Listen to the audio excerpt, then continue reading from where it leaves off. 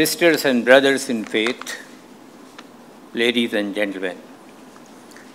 It was on this day, 125 years ago, that the world had heard at Chicago in the US the clarion call of a great Indian saint, Swami Vivekananda, for global religious harmony and peaceful coexistence.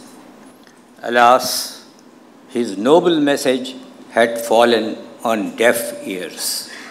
Within the next 50 years, the West inflicted on human fraternity two world wars, one after the other, leaving behind a trail of human miseries all around.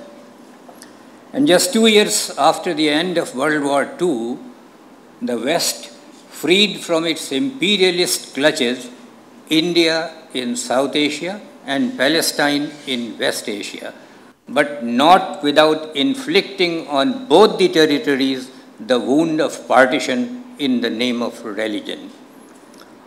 Ugly consequences of which the whole of Asia is facing till this day. On 11 September 1993, Chicago celebrated centenary of the World Parliament of Religions. But just eight years later, ironically on the same date happened in the United States, the ghastly incident nicknamed 9 11, which opened a new chapter of religious frictions in the world.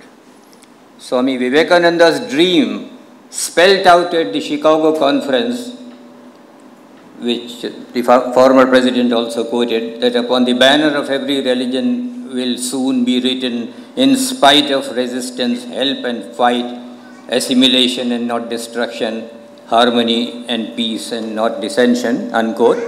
This dream of the great saint of India has sadly remained unfulfilled.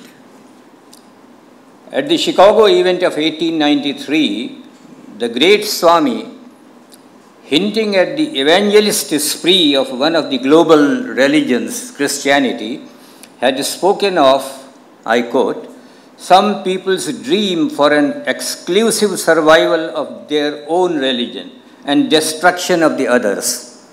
Unquote. As regards the other global religion, Islam, teachings of the Quran are far from any such dream.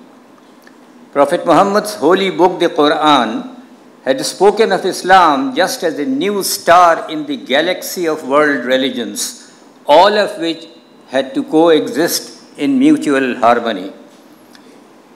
The ideal of religious pluralism was repeatedly reaffirmed in the Quran through precepts like La ikraha fid din, no compulsion in the matters of faith, and lakum dinukum waliya din, for you is your religion, for mine, for me, mine.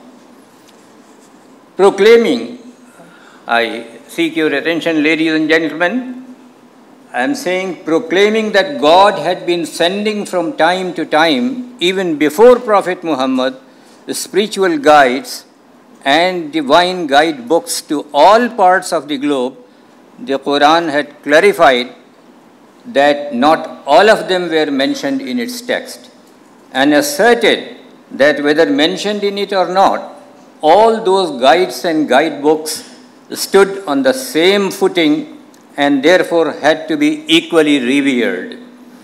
This Quranic prescription, I seek your attention to what I am saying now, this Quranic prescription had indeed put ancient India's iconic figures like Ram, Krishna, Buddha, and Mahavira on a high spiritual pedestal along with Abraham, Moses, and Christ, and placed India's ancient scriptures the Vedas, Sutras, and Agamas in the company of Zabur, Taurat, and Injil, Psalms, Torah, and Bible.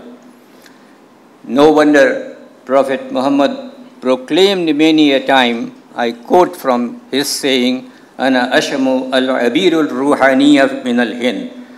I smell a fragrance of spirituality coming to me from India.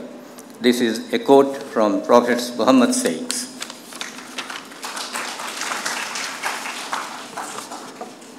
But alas, today India seems to be alienating itself from that fragrance of spirituality.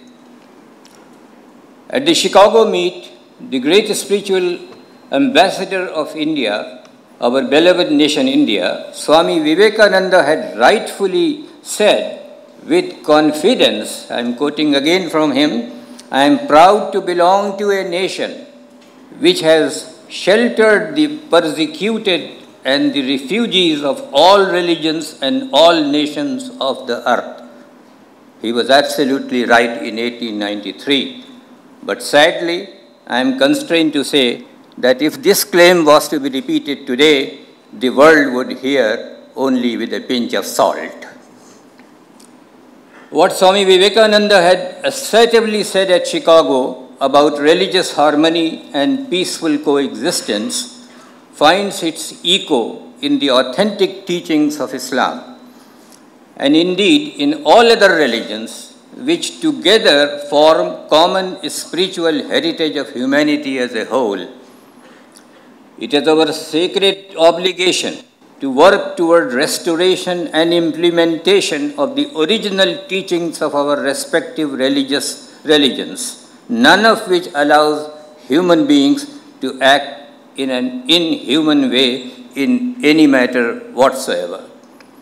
Let us remember Swami Vivekananda's 125 year old messages that unity in variety is the plan of nature. I repeat his words unity in variety is the plan of nature.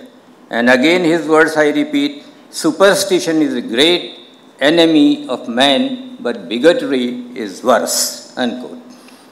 Let the followers of all our great religious religions faithfully translate the essence of his noble words into action in our lives, in our daily lives, speech and action. There lies the salvation for the ailing humanity of the day. I will conclude my presentation with a thoughtful quotation from a 1975 judgment of the Supreme Court of India. I am quoting memorable words of a great judge of India. Religion is a terrible Satan in its decadent status when people plunge into spiritual illiteracy, miss the divine essence of the lessons of the sages, prophets, and seers, and kiss the holy nonsense of my religion right or wrong, and my religionists alone to me belong. In this vulgar, barbarous degeneracy, humanism dies and values of tolerance and compassion perish. In the perverse reversal of higher meanings, the man on earth becomes the blind ammunition of divine rivals in disguise. Be that as it may, religions cannot be wished away or wiped out, but surely they have to be humanized and weaned from cannibalistic habits comity of denominations, not a zoo of savage faiths, must be the governing code of religious pluralism in the human world. Unquote. Thank you very much for hearing me with patience.